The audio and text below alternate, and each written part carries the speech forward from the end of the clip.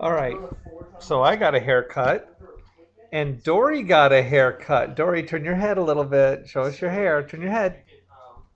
Awesome. Oh my goodness. Who is so cute? Yeah, I got your cute little haircut. My goodness gracious. I can see. You can see your haircut? Yeah. Okay, look at mommy. Take a picture, mama. Name your baptism. Look at mommy. special, like this doesn't do Say cheese. Cheese. Wait. Oh, all right. We'll wait. We're waiting. Okay, waiting. cheese. Cheese. Fish and cheese and adventure. And so like Big flash. canceled to everybody.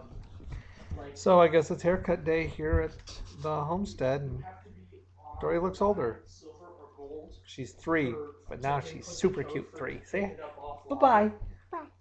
Okay, come on, Dori, let's go get cleaned up. unless you like